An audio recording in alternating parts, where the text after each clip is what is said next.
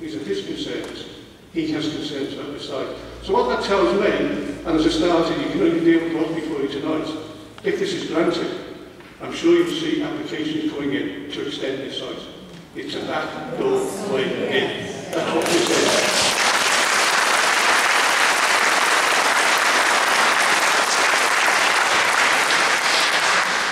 I also think it's really important to spend a minute or two on the proximity of the proposal. While it is a smaller site, it's still very close to the accommodation in Cricket Close. And the impact this would have on those residents who live in the bungalows, many of whom, because of health issues, spend a, a huge amount of time in the homes. The way in and out hasn't changed. You want to move the buildings. The cars coming in and out, the lights will still be shining, the noise will still be there. This will be disturbance to these people. These people don't need this. They don't need it. One, one of these people is a D-Day uh, veteran and was awarded the Legion of Honour. You know, do we really need to be treating people with such disrespect in order to fulfil an ego of the Chief Fire Officer?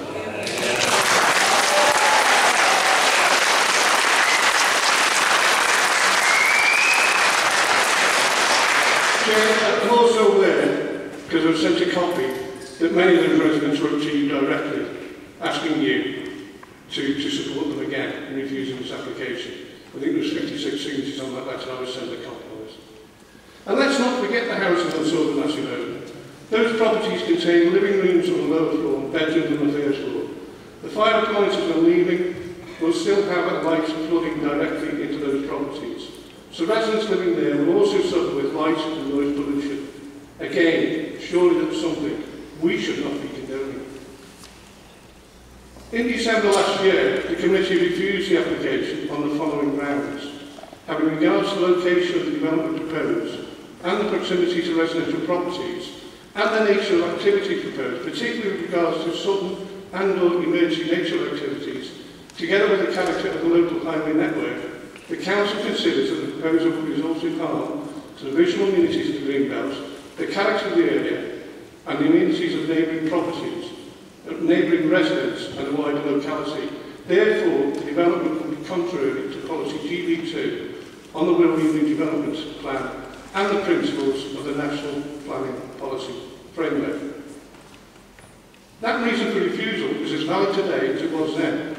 In fact, someone me actually broke down this reason into six reasons which demonstrates they are still valid. Visual amenities of the Green Belt. The application will continue to have a negative impact on the environment. The character of the area. The application will still have a negative impact on the local area. The amenities of neighbouring residents. This application will still result in negative impact on the sheltered housing. The wider locality. The application will still result in negative impact on an unspecified size of area around the fire station. Contrary to policy GB2 of the Wirral UDP, the, applicant, the application would still go against the Council's own UDP. The principles of National Planning Policy Framework, the application would still go against National Planning Guidelines. So, Chair, the reason you refused, members, the reason you refused back in December are the very reasons you can use against tonight should you choose to do so, because they're all still extremely valid. Last year, I also presented what I believe to be a valid argument which demonstrates that the fire authority failed to make the very special circumstances that needed to in Green Belt policy. I seem to recall Councillor Phelps challenged me saying he wouldn't accept figures from me, he would only accept figures from the fire service. Well, the figures from the fire service, Councillor Phelps, are here tonight. Uh, they, they give me, I'll give get me to be figures. name, but I haven't even got a chance to speak tonight. I, I, I apologise, Councillor. But, but it, it was used to challenge my argument. Okay, that's fine. But they're not, please understand, they're not my figures. These are figures produced by the Fire and Rescue Authority. These are their figures. Their figures from their reports. So, you know, when we get to that, the reports, I'll to you that. So, moving on to their very special circumstances arguments. I'll refer committee back to the words of Wirral's long-serving senior planning officer Sheila Day, who stated in a career application response to the previous application, I am concerned that in the light of your fallback scenario of being able to redevelop the fire station at Upton within the urban area and with no impact on the green belt, very special circumstances will not exist, in which case planning permission is not likely to be granted. Again, words that are as valid today as we were two years ago. The planning offer didn't determine it was a fallback position. The fire authority and their agents stated it was a fallback position, something the chief fire officer was denying tonight. You'll be aware from what- the last time I spoke, this site is not, never has been, the fire authority's first choice. Their first choice was in fact the Greasby Library site. That brownfield site is still in council ownership, so it's still available. It's still there. It hasn't gone anywhere, it hasn't been developed. It's a brownfield site. So let's look at the authority's second choice. Another site that was not green belt. Yes, they did have a second choice. It was identified by Kieran Timmins, former finance director and head of the fire station Ray Proposers, who sent an email to the council's head of regeneration, which stated there were two sites that he classed as runners. There were the Greasby Library site and the Saughall Massie Upton site. And again, that e- email is here amongst his paperwork. Uh, so I can provide it if you want to see it. Again, I'm not making this, these documents up. Moving forward, the officer's report states that 14 sites were discounted. However, the applicant's design and access statement does not show whether it's an discounted because they never included it. Clearly they wouldn't want to include it, would they? Because they couldn't find reasons to discount it. How odd there is no detailed, de detailed declaration evaluation of the operational sustainability of the Upton Fire Station. Despite Upton being the only site that has passed the MFRS risk assessment and has successfully been providing emergency service to the Fort area, including the furthest areas of West Kirby for almost three years. It's also worth noting at this point when the government handed out grants for fire station managers, it encouraged that any new developments where possible should include other emergency services such as ambulance and police. Now, neither ambulance or police want to come to solve the matter. But from discussions, that, uh, well, not discussions, from presentations made by the Chief Fire Officer, he has stated that the uh, ambulance service would be prepared to join up with the redeveloped site sites at Upton.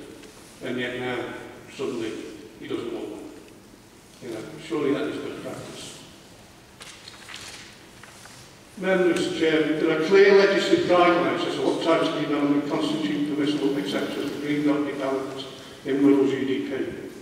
Policy GB2, it clearly sets out that the applicants must prove that there are no alternative suitable locations and that very special circumstances can be clearly demonstrated. The important words out of that paragraph, Chair members, we should be looking at are prove and no alternative. As I said before, the Upton site by the Fire Service of admission is a fallback site.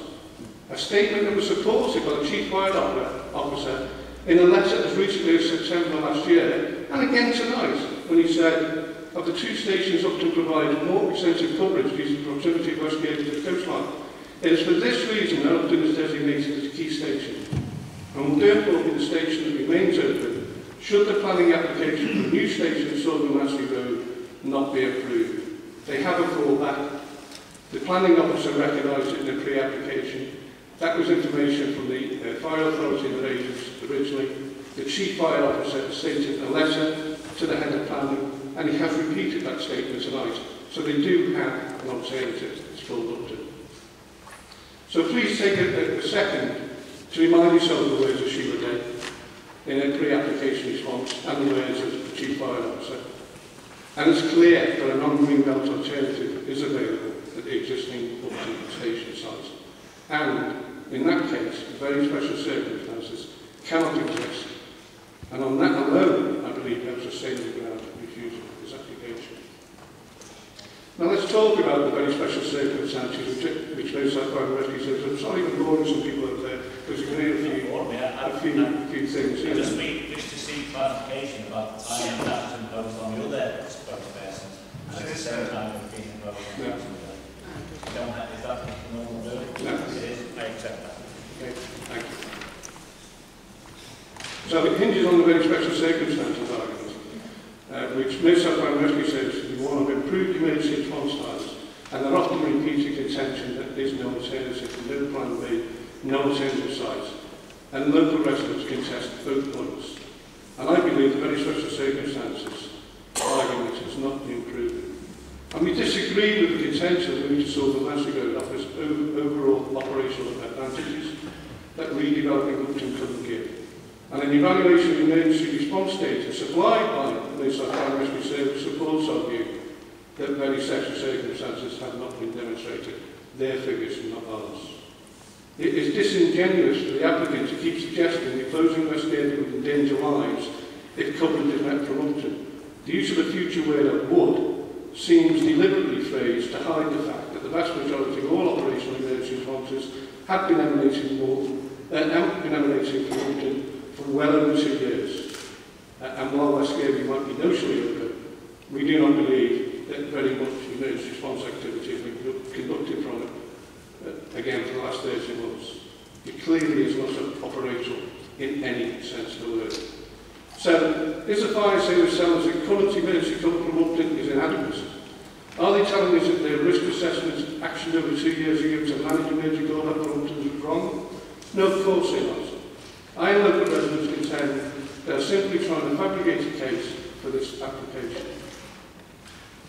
Minister of Fire and Rescue so that Upton Station has typically three times as many emergency call-outs as the West Station. Moving to Saughall Massie reduces response times on some call-outs, but increases by the same amount of time, one, two minutes, the higher number of call-outs from the vicinity of Upton and the Woodchurch Estate, the M53, the 900-bed Arrowe Park Hospital, which is perhaps the most critical facility in world regarding fire protection, and at which there have been many call-outs in the past. And of course, Brackendale, the 14-storey tower block that accommodates vulnerable residents, people who need looking after. They want to live further away from a 14-storey sheltered accommodation tower block. Given that, that uh, what's happened, the tragedy at Grenfell Tower, I find that incredible.